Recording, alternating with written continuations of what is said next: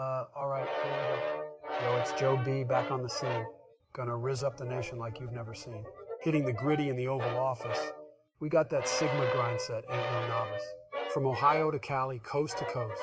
Skibidi bop mm, dada, we'll make the most. Got that whopper whopper energy strong. Together we'll rise up and right the wrongs. So let's get it, fam, with memes and more. Four more years of Biden knocking at your door. Stay hopeful and kind, that's our way. Remember, the future is in your hands. Stay curious and never stop learning. If the problem is fear, the answer is knowledge. And always get back up when you get knocked down. You're not alone in this, we're all in it together. Yo, it's Joe B dropping truth bombs.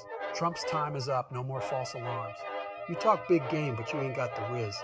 While I'm out here connecting with the kids, skibidi bopping dot on your old news. Caught up in scandals while I lace my shoes. Hitting the griddy while you throw a fit. Your term was chaos, now it's time to quit. Got that whopper whopper energy strong. You spread division where we belong. From fake news to Twitter fights all night, we're bringing back unity and doing it right.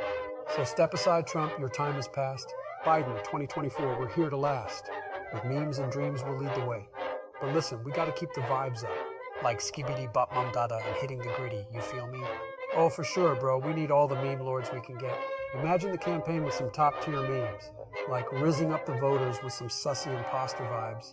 We gotta connect with them on their level. It's like hitting the griddy, but for politics. We can still be serious about the issues while keeping it vibey. But it's not just about my opponent being a walking meme. We gotta adapt to the times, you know? Like hitting that whopper, whopper, whopper vibe while still getting things done. It's all about connecting with the people and making sure they feel heard. Plus, we can have some fun along the way. We got to keep it real while also keeping it relatable. We got to show people we get it, they're not alone. And then, you know, rules for happiness are simple. Something to do, someone to love, something to hope for. Skibidi bop dada kind of vibe. It's all over TikTok and stuff. Got to stay up to date with what the kids are into these days. True bravery is when there's little chance of winning, but you keep fighting. We can use memes to engage folks and then hit them with the important stuff. Uh, yeah, I've had my fair share of stumbles.